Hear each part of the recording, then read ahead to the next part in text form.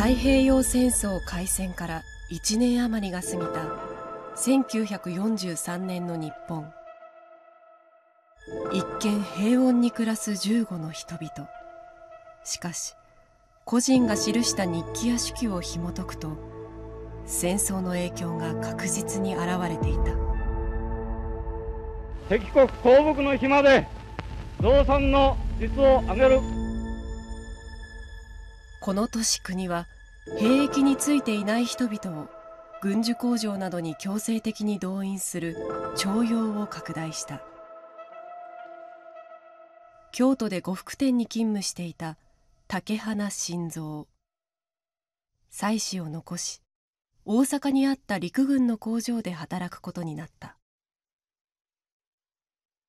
体が弱く兵役につけなかったことを負い目に感じていた竹花は軍のために働ける喜びを綴っていた。朝町内隣組の人々に万歳と送られ表門をくぐった。初めて見た交渉の姿は赤レンガの建物。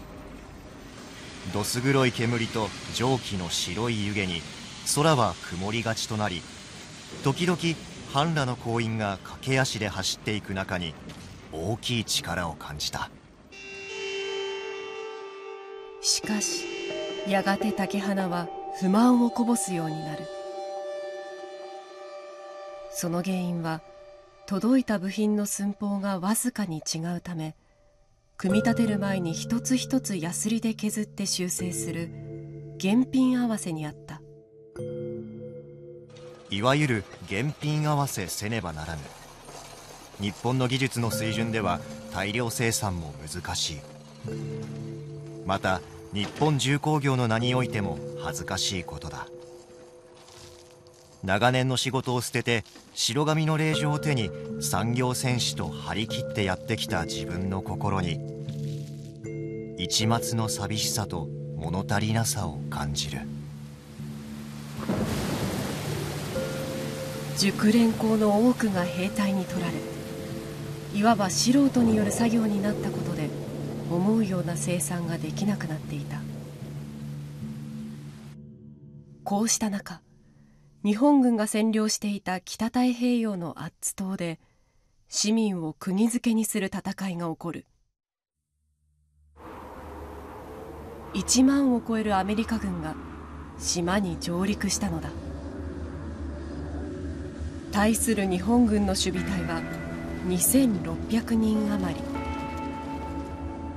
ここが占領されれば北海道から日本に攻め込んでくるかもしれない。そんなこともささやかれていた。そして5月31日アッツ島守備の我が部隊はついにことごとく玉砕しました。守備隊2600人の全滅が発表された。玉砕という言葉で全滅が伝えられたのはこの時が初めてだった。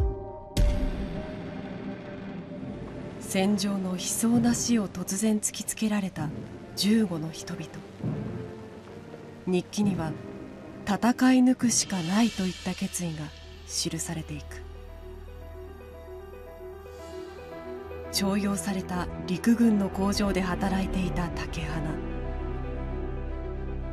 生くるか死ぬか祖国重大な時行員としてお国にご奉公する身だ。勝つまでは忍ぼう。しかしこのあと人々はさらなる過酷な運命に直面することになる。